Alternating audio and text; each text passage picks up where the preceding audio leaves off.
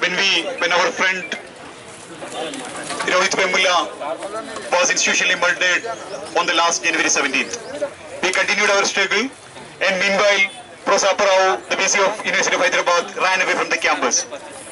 And uh, on March 22, he came back to the campus and resumed the office. And on that day, on the protesting students, total lathi charge was happened. And from that point onwards, a great tension is existing inside this campus. And but still, by understanding the fact that his idea is to destroy the academic sphere which we are enjoying, we decided, Joint Action Committee for Social Justice decided to go to the classes, and the classes were happening, and also we were continuing our struggle. Uh, struggle. And today, we given a call for Chalo HCU. As you all know, the students have all right to live inside the campus, and also our parents and the lawyers or the human rights activists and even media should have all right to come inside and interact with the students. But, but the present VC, who, who cannot even understand the idea of the democracy and idea of the debates and the discussion, they're denying the basic rights of the students.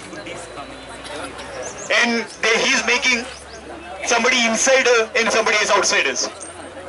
Outsider is very simple. If some people come, come as the, the friends or the relatives of the faculties or the or the teaching or non-teaching staff, this gate will be open to them.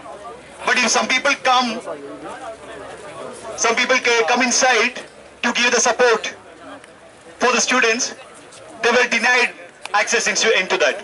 And we saw that Teesta Setalvad, Medha Patkar, and the three MPs, and Yogendra Yadav, uh, Chairatna Madam, and uh, several people were blocked at the main gate, and they given the gate speech. And today, we given the Chalo HCU call to, to stop this blockade.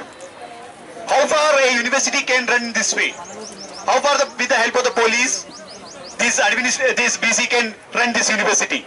If we need that chair of the VC, they can take anywhere and go and sit anywhere. We don't have any problem with that chair. But he should not try to rule us. He should show some kind of the morality. Then also I'm, I'm thinking like, what is the point in discussing about the morality to the some people who were running the academic council with the help of the police and who were denying the who were denying the students' rights. We, students' union president and secretary, are invitees for that protest, but we could able to go through three three or four rounds of the continuous checkup, and we had to take the police permission to go inside. And the, the, the only feeling which we can share with them is sympathy, nothing else. So let them do whatever they want, but we will continue with our struggle. And today, a lot of students from the from the outside nearby campuses like Osmania, EFLU and all, and the mass organizations came to campus as a support for the students. It proves that we are not alone. The University of Hyderabad students are protesting for a cause or a genuine cause, and the outside people, the civil society, understood this very clearly, and that that shows yeah, this number shows that one only. And the students who came at the beginning were arrested initially itself, like uh, as a 50 or 100 members of group keep on taking outside. And uh, I take this opportunity to thank each and everyone who came here to support the support our protest. And I and I salute to the students who got arrested for for the big crime that he they came to the University of Hyderabad campus. And here, yeah, here we are having the public meeting outside the main gate. We are also uh, we are also giving the gate speech, and we will continue our our meeting outside itself, and we will be serving the food food here itself. And once again, I request all of you to sit here.